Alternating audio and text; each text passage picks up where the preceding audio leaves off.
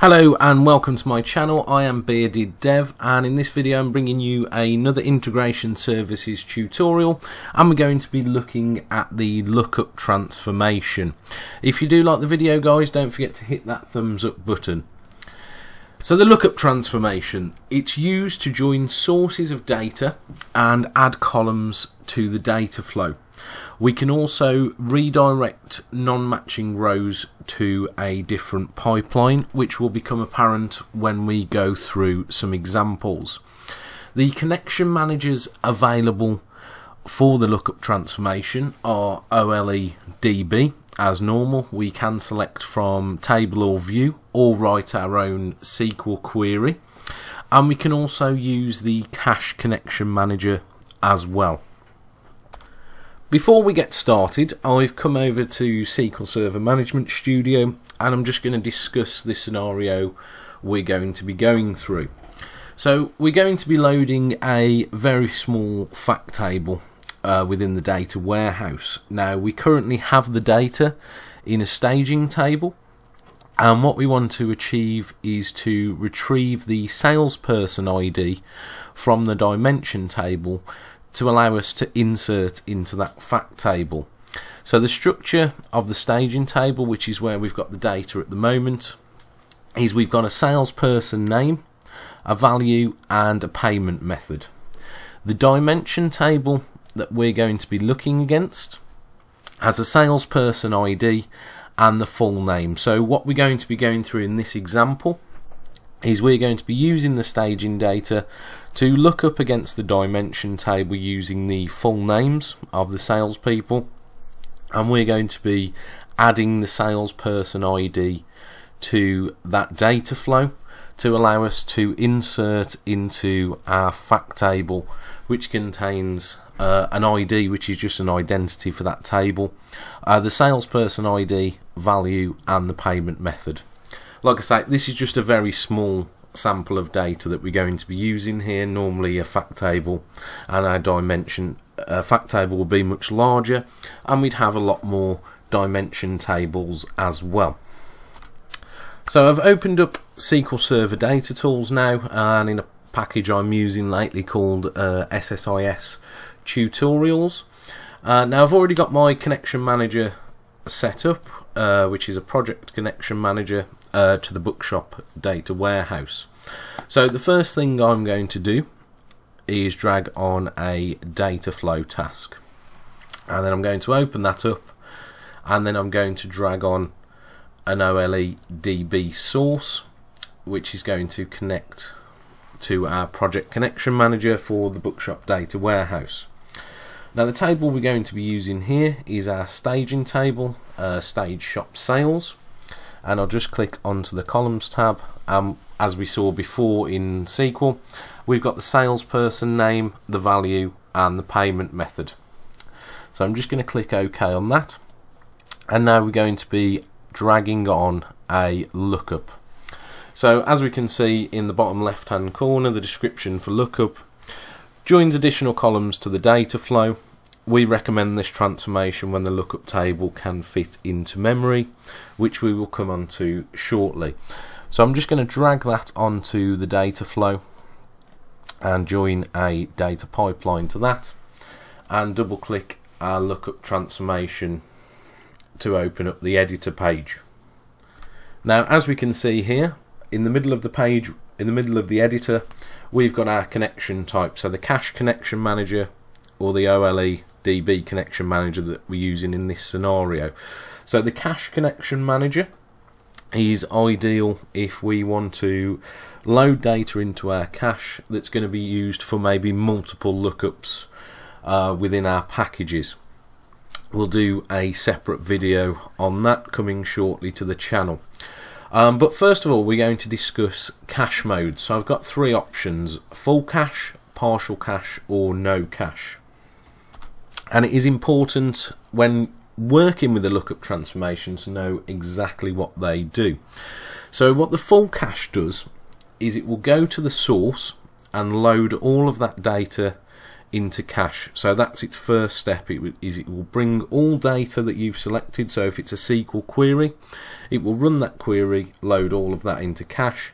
If it's a table, it will load the full table into cache. So it's only ideal that you would bring in the columns that you're going to be using. So in this case, I'm going to be looking against a dimension salesperson or employee table. So if I had other columns in there, maybe uh, employee address, uh, employee date of birth, I wouldn't need those for this lookup. So it wouldn't be beneficial to me bringing those in. I'd just be wasting storage in the cache if I did that. So as I say, the full cache is going to go to the source, bring all the required data into the cache, and then it's going to perform lookups against that cache. The partial cache, now what that does is it works row by row.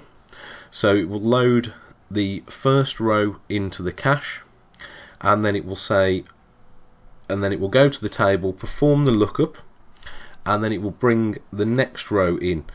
Then on the next row, it will look up to the cache. If that row already exists, it will use the row stored in the cache. If not, it will go back to the source and then load that value into the cache and then perform the lookup. So you can see the difference there between full cache will only hit the source once, whereas partial cache will hit the source multiple times. And then we've got the no cache option as well. So no rows will be loaded into the cache at all. But it's always important to remember that the latest row will remain in memory so we'll have a look at the data in more detail and go through how these different modes will work so the example we're going through is we're going to bring in our staging data and then using that we're going to perform lookups against our dimension table, our dim sales person.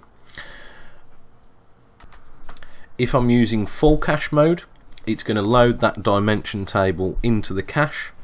It's going to recognize Tony Smith and then it's going to go to the cache and pull that salesperson ID.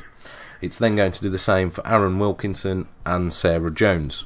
If I'm using partial cache, it's going to pull in Tony Smith from our dimension table and then our first three rows will be able to use reuse that cache then it's going to hit Aaron Wilkinson when it hits Aaron Wilkinson it's going to go to the cache and say we only have Tony Smith within our cache we need to go back to the source load Aaron Wilkinson into our cache then it's going to use Aaron Wilkinson from the cache then when it gets to Sarah Jones, it's going to say she's not present in the cache. We'll go back to the source, load in Sarah Jones, and then use lookups to that cache again. If I'm using no cache, what it's going to do is it's going to realise that we need to look up Tony Smith. It's going to go to the source, get Tony Smith, and perform that lookup, retrieve that salesperson ID. Now the next row is also Tony Smith, and that value is still stored in memory even with Tony Smith so it's not going to go back to the source it's still going to be able to retrieve that information when it hits Aaron Wilkinson again it will need to go back to the source and then it's back to Tony Smith. But at this point it has Aaron Wilkinson in memory. So it needs to hit the source again. Because it is performing these lookups row by row. What's important to note as well with cache modes and the lookup transformation is if you are loading a large amount of data into memory and your machine simply can't cope with that volume of data there is no spilling with the lookup transformation so it won't it won't write to disk or anything like that. It won't spill to temp db what will happen is the process will fail. So it's quite important to understand when to use different cache modes. So the full cache mode would be recommended is if you have a large amount of memory available that you can consume for this task and you have a large amount of data that you're going to be bringing in, especially with different values. So if you have a large amount of data with hundreds of different values, then it would be recommended to use full cache mode because you're preventing having to hit that source data over and over again. Partial cache, you may still have a large volume of data, but maybe you only have minimal distinct rows, distinct values within that data. So in that scenario, it may be easier rather than performing the full load into cache that to just load the distinct values one by one. Uh, also, no cache is if you have limited amount of memory available or you're looking at a very small table. In my example that I'm going through here, we're only looking at a very small range of values just to go through an example. So if you are looking at a table with very small amount of values, you could also use the no cache option as well. So in this example, we're going to be sticking with the full cache mode, which is the default and we're going to be using our OLE DB connection manager to connect to our SQL Server database, in this case our dimensions table. Now we also have the option of specify how to handle rows with no matching entries. Uh, and that's defaulted to fail component which is not ideal. Uh, usually we wouldn't want to fail a component when we haven't found a match so our options are to ignore the failure and just carry on as normal. Redirect rows to an error output, fail component as we've discussed. Or we can also redirect rows to no match output, which is ideal because maybe we can perform some other calculation on them. Maybe we want to insert them into an error table and report back that we was unable to find values for these certain amount of rows. So I'm just going to leave it to redirect rows to no match output. The next option then is to select our connection and we have the option of either using a table or view or the results of a query. Uh, and like I've mentioned, you only want to bring in the values that you need. So if you're simply, in this case, I'm just looking up a name to get the ID. But all that's within my table is a name and ID. So I don't really, I can just load the table. Um, if you have a table with many columns that are not going to be used within the lookup, then it's beneficial to write a SQL query rather than just looking at the whole table. So in this case we're going to be using the dim salesperson. We also have the option of creating a new table as well. So if I now go on to columns, this is where we're going to be looking at performing our lookup. So what I want to do is from my staging table I want to take my salesperson name, look up to the dimension table and match on those values and then I want to return the salesperson ID so I can insert that into my fact table. So what I'm simply going to do from my input columns is drag salesperson name across to full name. They don't have to be called the correct the, the same column name and then I'm going to put a tick box in my salesperson ID which will now add this as a new column.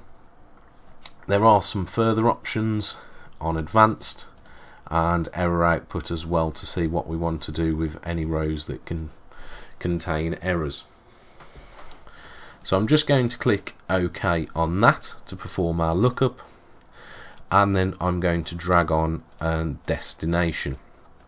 I'm just going to connect that to the pipeline and what you will find is because we've selected to redirect rows to an output uh, to no match output once we drag the connection we will have an option to choose the output. So in this case we're going to be using the matching set of data. Okay and then I can just open up my destination.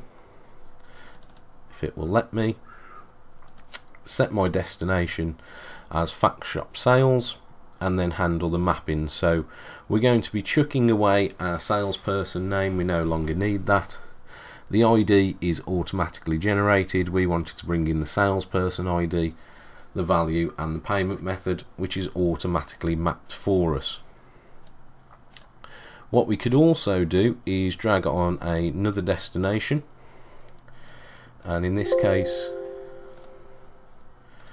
we're going to drag from the lookup to here and it will default to lookup no match output and then I'm just going to create a new table. I'm just going to call it no match. In this scenario I do have all matching rows but as we know that's not always the case. And that that will set all the mappings for us. So I've just jumped back over to SQL we'll run a query against the fact table. As we can see there's no data in there at the moment I'm just going to save what I've done to these changes and I'm going to start debugging. Now once this has run through we've only got minimal amount of data so it executes quite quickly. I'll just stop that come back to SQL and execute the query again. And we can see now we've got data in our fact table with our salesperson ID, the value and the payment method as required. Really hope you have enjoyed that video. If you have got any questions relating to lookup transformations, please do post them in the comments box below. Don't forget to subscribe to the channel and to click that notification button to be made aware of when I do upload new videos. Thanks a lot for watching.